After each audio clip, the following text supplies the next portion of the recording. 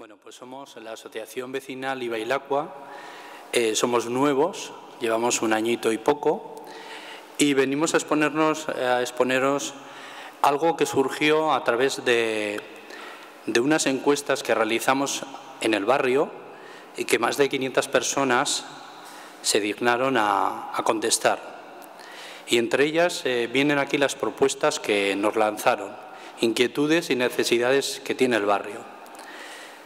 La B5, que espero que la votéis, espacios lúdicos al aire libre para adolescentes en Ibayondo y la Cuaizcarra.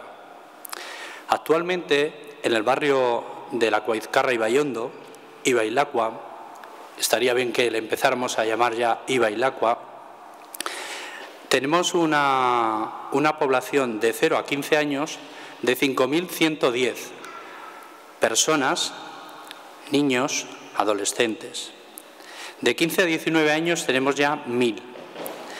Y una de las cosas que nos propusieron es que no tenían un espacio al aire libre para poder jugar, para poder simplemente coger una pelota y jugar a la canasta, jugar al fútbol, jugar al ping-pong. No tienen absolutamente nada. Y es cierto, cualquiera que venga por el barrio lo puede ver.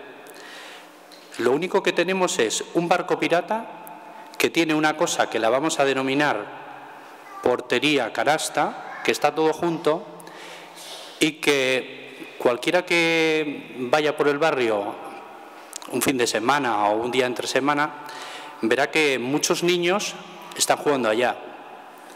Yo la última vez que estuve, que estuve con mi hija, eran concretamente 133 niños jugando en un campo de fútbol que a la vez querían jugar a baloncesto, con lo cual había las riñas pertinentes, no solo entre ellos, sino entre los padres, porque a ver quién juega primero o a ver quién juega después. Por eso hemos venido aquí y nos da el Ayuntamiento de Vitoria esta oportunidad pues para pedir a la población de Vitoria-Gasteiz que vote este proyecto, este B05, para que todos estos adolescentes por lo menos tengan la oportunidad de hacer deporte. Estamos cansados de decir los padres, deja el móvil, deja la tablet y cosas peores que están empezando a pasar. Tenemos que darle la oportunidad de escuchar. Ellos simplemente nos están pidiendo un sitio donde jugar. No es lógico que como antaño estén en un parque pongan su ropa como portería y se líen a jugar en el césped, consiguiendo que como no es liso, se hagan esguinces o haya cositas peores cuando caen al suelo, como, como, por ejemplo una caca de perro.